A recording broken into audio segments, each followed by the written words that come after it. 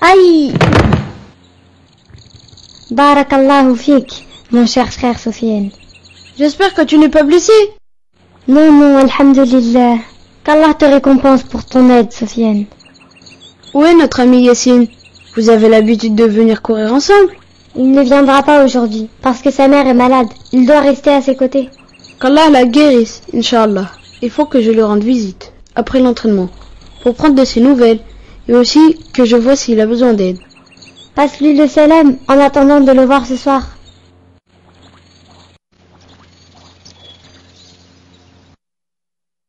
C'est l'heure de prendre tes médicaments, maman.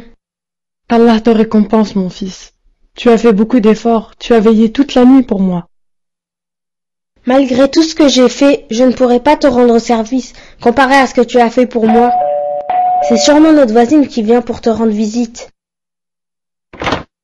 Assalamu alaikum. Wa alaykum salam wa rahmatullahi wa barakatuh. Comment vas-tu, Sofiane? Alhamdulillah. J'ai appris que ta mère est malade, donc je suis venu pour prendre de ses nouvelles et rester un peu avec toi. Que Dieu te récompense, mon cher ami, mais excuse-moi, je ne pourrai pas rester avec toi pour le moment. Non, mon ami, pas de problème. Je passerai te voir un peu plus tard. Assalamu alaikum. J'espère que t'acceptes mes excuses et ne te fâches pas. Assalamu alaikum. Wa alaykum assalam wa rahmatullahi wa barakatuh. Qui était-ce, mon fils? C'est mon ami Sofiane. Je me suis excusé de ne pas pouvoir l'accueillir pour pouvoir m'occuper de toi, maman.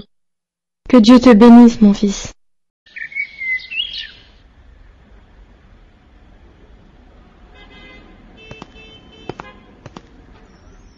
Hélas, est-ce cela l'amitié?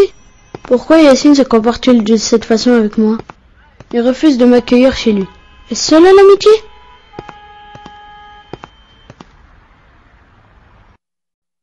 Assalamu alaikum, mon père. Wa alaykum salam wa rahmatullah, mon fils. Qu'est-ce que tu as, Sofiane? Je te sens préoccupé.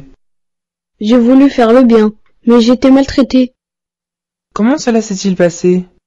J'ai rendu visite à mon ami Yassine pour prendre des nouvelles de sa mère qui est malade. Rester un peu avec lui. Mais il a refusé de m'accueillir et il m'a dit qu'il ne pouvait pas rester avec moi. Es-tu en colère pour un droit qu'Allah a donné à ton ami? Comment cela? N'as-tu pas entendu la parole d'Allah Azzawajal Ô vous qui croyez, n'entrez pas dans les maisons autres que les vôtres, avant de demander la permission et de saluer leurs habitants. Cela est meilleur pour vous. Peut-être vous souvenez-vous, si vous n'y trouvez personne, alors n'y entrez pas avant que permission vous soit donnée. Et si on vous dit retournez, eh bien retournez. Cela est plus pur pour vous. Et Allah, de ce que vous faites, est omniscient. Et le sens de ce verset est qu'on doit demander la permission avant d'entrer. S'il nous autorise à entrer, on entre. Et s'il nous le refuse, on s'en va. Et s'il n'y a personne dans cet endroit, on n'y entre pas, sauf si on y est permis. Et pour quelle raison? Le propriétaire refuse-t-il d'accueillir ses invités? Mon fils, chaque maison a sa vie privée, et on ne doit pas poser de questions dans ce qui ne nous regarde pas. Ceci est meilleur et plus pur pour nous, comme Allah nous l'a dit. Oui, oui, mon cher papa, t'as raison. Le prophète sallallahu alayhi wa sallam, Sallallahu alayhi wa sallam. il a dit si quelqu'un demande la permission d'entrer trois fois et qu'on ne lui autorise pas, qu'il parte alors. Cela veut dire que si tu frappes à la porte trois fois, ou que tu appelles trois fois et que la personne ne répond pas, alors tu dois partir. Et si je pars, je suis récompensé quand même? Oui, mon fils, les musulmans d'avant ne trouvaient aucune gêne et n'étaient pas tristes quand on ne leur donnait pas la permission. Qu'Allah me pardonne, comme j'ai été fautif envers mon ami Yassine. Si on connaissait bien notre religion, personne ne ressentirait de la haine envers les autres ou ne les détesterait. Qu'Allah te récompense, mon cher papa, et je te promets de rendre visite à mon ami Yassine demain, Inch'Allah, et je ne me fâcherai pas s'il me demande de refaire une demi-tour. Qu'Allah te bénisse, mon fils.